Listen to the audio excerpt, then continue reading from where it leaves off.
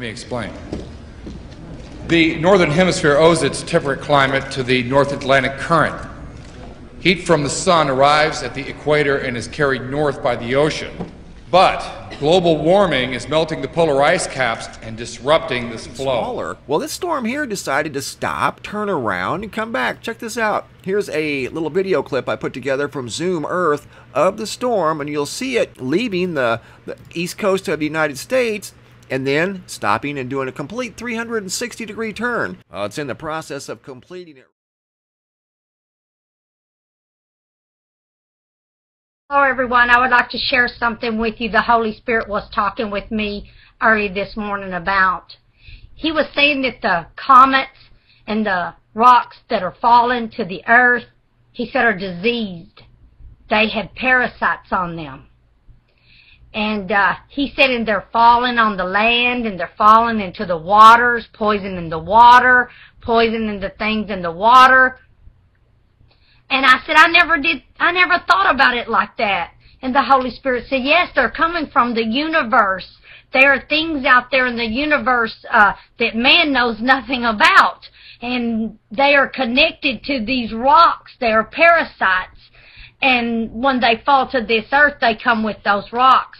And the Holy Spirit said causing diseases and poison in the water and even poison in the land in the places that they fall. Andrew Huff is a spokesman for the Armed Forces Radiobiology Research Institute, which has been leading the Pentagon's quest for a more effective antidote to radiation sickness. The symptoms of acute radiation sickness would be just exactly like a terrible flu.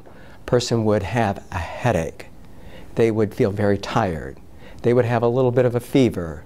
They might have some vomiting at higher doses. All of this would be more severe and it would come on more rapidly. Acute radiation poisoning, which is serious, and it comes in four phases. First is prodromal. This is vomiting, nausea, diarrhea, anorexia, and more radiation makes this worse. It can hit you within a few minutes or days after an exposure. Second, you'd actually feel better. This is called the latent phase. You'd get over these flu-like symptoms but you didn't actually get over them. If you'd had lab tests, they would show that you'd been poisoned by radiation. At survivable doses, it would come on within about 6 to 24 hours, and it would be over within two days. And you might think, well, I'm, I'm okay. Then, maybe weeks after that, bam, the manifest illness phase hits. That's when a bunch of bad stuff happened too. And then four is recovery or death. But really, what's happening is the, the body is losing its platelet supply and its neutrophil supply. It's not clear what happens, but doctors think your cardiovascular system and central nervous system swell with fluid thanks to damaged cells. In less than three days, the brain can't control the body anymore because of cell death. And, and in order for you to feel sick from that, just like after chemotherapy, it takes a little while for infectious infections to come up to, to, to come about or for you to have any kind of bleeding from the loss of platelets. Because radiation is damaging DNA at the atomic level, acute poisoning is very hard to treat. Radaway does.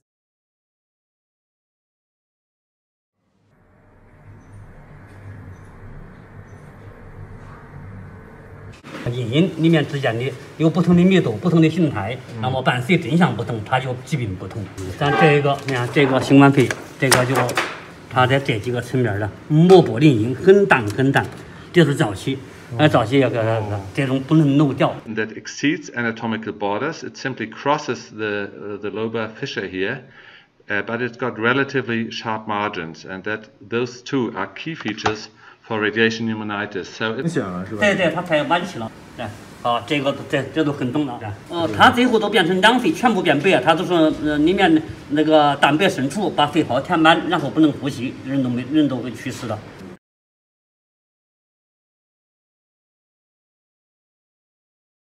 So that's the key feature, uh, consolidation exceeding anatomical borders, but with sharp margins reflecting the radiation part. Oh, but there's a lot of strange things like this, and I wanted to point out some other ones that just seem. It's like the overall, everybody's acting different. Okay, I'm really getting this uh, impression here. Um, he says he has these weird phantasmagorical, um, you know, dreams or experiences as a result of this, kind of like making you, th- you know, think strange things. And maybe that's related to this here. Maybe this is happening to him. I don't know.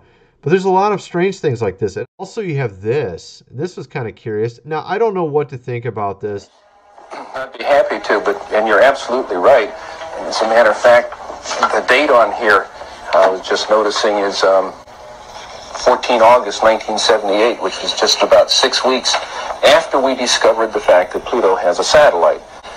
It turns out Pluto was very much smaller and lighter weight than we had thought. Which at that point, we voiced the hypothesis that this means that there is at least one yet to be discovered planet in the outer reaches of the solar system. And this naturally led directly to you and your interest in what we're doing. And that's when you, you sent me this book. You have then postulated the existence or, or the appearance in some some some time years ago uh, of of a, a celestial body which you I think named in that uh, paper uh, an intruder, yes. which may have uh, collided with or, or, or somehow uh, turned on on their side both Uranus and Pluto. And we've been searching for 12 years for this thing. We've been able to refine the search area somewhat. We actually are currently looking down in the region of Centaurus, which is just south of the of the constellation Libra, but very close to the area that you've talked about. I think, uh, Dr. Harrington, you have a pretty good picture, at least in your own mind, of what we are talking about, a big planet, a small planet. Uh, For more than half a century, Carlos Munoz Ferrada astonished people with his astronomical and geophysical predictions. On January 19, 1939, he predicted that on January 24th at 7:10 p.m., an earthquake would devastate Chile. On January 24th, 1939, at 11:29 p.m., an huge, devastating earthquake hit and it left 10,000 people dead.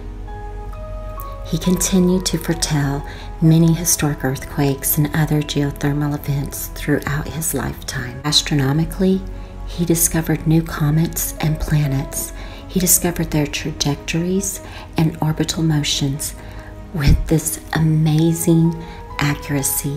And at the age of 90, Carlos Munoz Ferrada finally broke his silence and he told about his 59 years of research pertaining to Hercolubus, or what he referred to as the comet planet. interesante es que usted hizo un estudio y trazó con cálculos y con todo la órbita de este cometa planeta. Porque usted nos habla y nos dice que es cometa planeta porque su movimiento no es algo normal. No. Que tiene unas velocidades. Es un cometa planeta porque tiene órbita elíptica como cometa y porque tiene gran masa como planeta. Como planeta. Yo lo llamo entonces planeta cometa. O sea, un planeta con cola. Well, if, if it is in the kind of orbit that we describe here, it would have to be a planet that would have a mass something like three to five times the mass of the Earth. This would put it uh, intermediate between the gaseous planets like Uranus and Neptune and the terrestrial planets that we, we have in the inner part of the solar system. So if, if this planet turns out to be in a 3,600 year orbit, then its, its mass will be correspondingly larger. But we're talking about something that's, that's a perfectly reasonable kind of planet. It looks like a good, nice planet, uh, small enough that it's not going to be completely enveloped in gas, so it's perfectly capable of supporting uh, life forms of one kind or another. Is the orbit that I have proposed for. Entonces aquí en este gráfico usted nos muestra, en el gráfico, ¿verdad? De que en este lado está la Tierra, la órbita de nuestra Tierra alrededor del Sol. Sí, señor. Y que él penetra en la órbita terrestre, aquí, pasando muy cerca de, nuestro, de nuestra Tierra.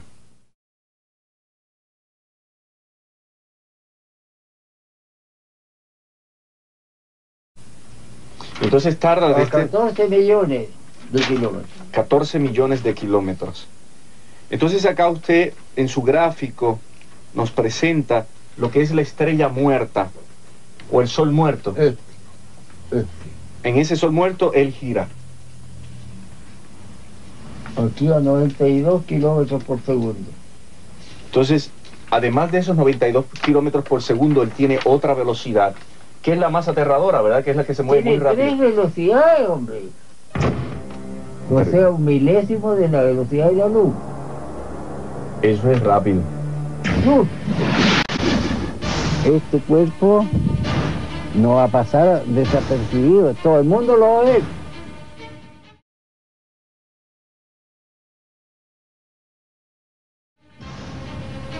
Y va a haber gran confusión. Más que confusión. Y le van a, a dar un sinnúmero de interpretaciones a este asunto. Uf. ¿Qué consecuencias sobre nuestro planeta? Las más terroríficas. Luego, cada cual arrégleselas como pueda.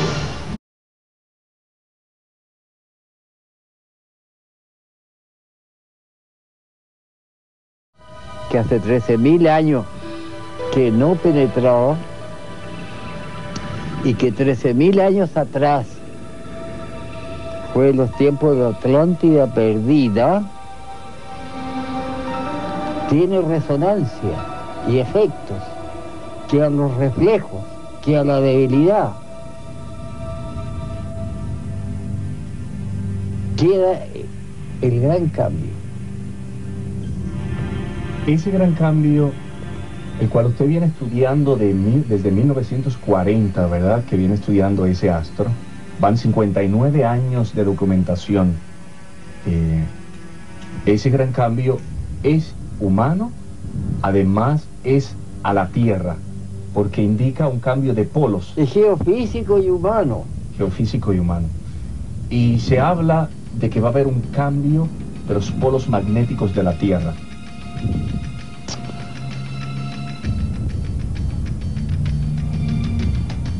Son tantas las cosas que lamentable la humanidad no está preparada. El cambio viene. La destrucción viene. Y más que nada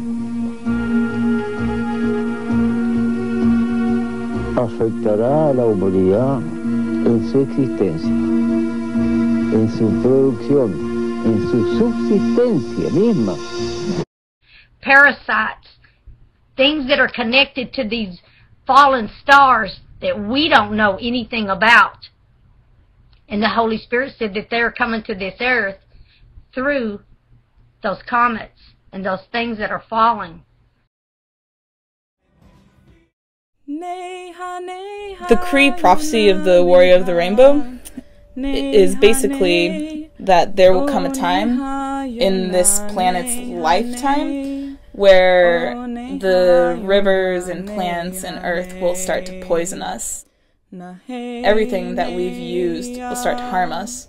And when that time comes, basically everyone in the world, people from all different creeds and backgrounds and cultures have to come together and stand up together as warriors of the rainbow. We have to take back the earth and reclaim it for ourselves. And now is really the time.